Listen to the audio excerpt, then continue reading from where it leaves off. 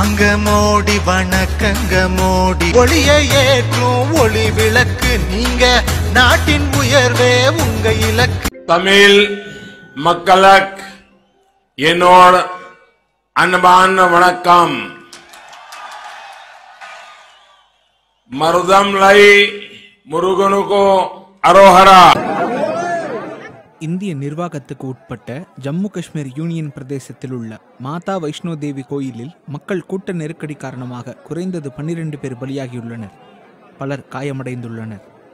இந்த சம்பவம் இன்று காலை இரண்டு நாற்பத்தைந்து மணியளவில் நடந்துள்ளதாகவும் டெல்லி ஹரியானா பஞ்சாப் ஜம்மு காஷ்மீர் உள்ளிட்ட பல மாநிலங்கள் மற்றும் யூனியன் பிரதேசங்களைச் சேர்ந்தோர் இந்த விபத்தில் உயிரிழந்துள்ளதாகவும் தெரியவந்துள்ளது.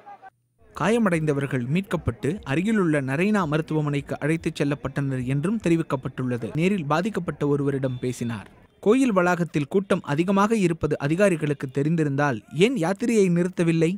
குறித்த நேரத்தில் யாத்திரையை நிறுத்தியிருந்தால் இந்த விபத்து நடந்திருக்காது என்கிறார். இந்த விபத்து தொடர்பாக இந்திய பிரதமர் நரேந்திர மோடி உள்ளிட்ட பல தலைவர்கள் தங்கள் இரங்கலை தெரிவித்துள்ளனர். பிரதமர் மோடி தனது ட்விட்டர் பதிவில் மாதா வைஷ்ணோ தேவி பவனில் ஏற்பட்ட கூட்ட நெரிசலில் சிக்கி மக்கள் இறந்தது மிகவும் வருத்தமளிக்கிறது.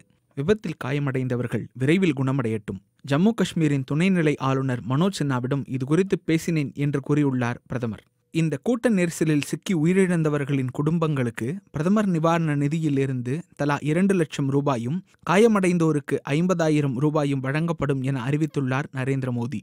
காங்கிரஸ் தலைவர் ராகுல் காந்தியும் தனது ட்விட்டர் பதிவில் மாதா வைஷ்ணோ தேவி கோயிலில் ஏற்பட்ட நெரிசல் விபத்து வருத்தமளிக்கிறது இறந்தவர்களின் குடும்பங்களுக்கு எனது இரங்கலை தெரிவித்துக் கொள்கிறேன்.